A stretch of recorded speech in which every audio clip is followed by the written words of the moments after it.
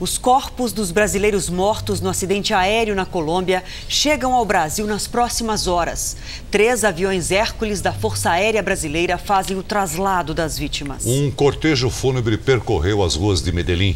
Os enviados especiais do Jornal da Record à Colômbia, Leandro Estoliar e André Cunha, acompanharam as homenagens. A cidade que se preparava com alegria para receber uma final de um torneio internacional de futebol vive hoje a tristeza da despedida. Rodeados pelos colombianos, os carros das funerárias seguiram em direção à base aérea, a 45 quilômetros de Medellín. Nos caixões, os corpos dos brasileiros mortos no acidente. Entendemos que entregar os corpos é, acima de tudo, aliviar um pouquinho a dor da saudade, a dor da perda.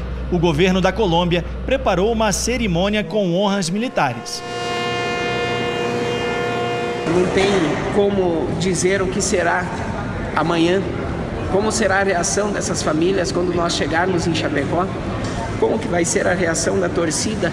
Três aviões da FAB, a Força Aérea Brasileira, foram trazidos aqui para a base aérea colombiana para transportar os caixões. As aeronaves do modelo Hércules vão fazer a viagem até Manaus em quatro horas, onde param para abastecer. A previsão é que os corpos dos brasileiros mortos na tragédia cheguem em Chapecó amanhã de manhã.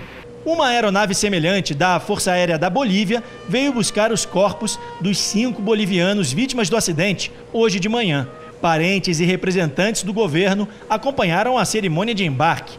O comandante da Força Aérea Colombiana, Roberto Sanches, ficou emocionado na despedida.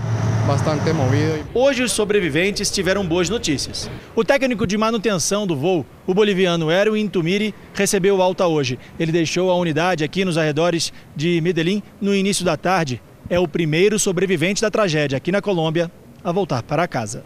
Em uma rede social, a comissária de bordo, Jimena Soares, que também sobreviveu ao acidente e continua internada, disse que ainda está em choque.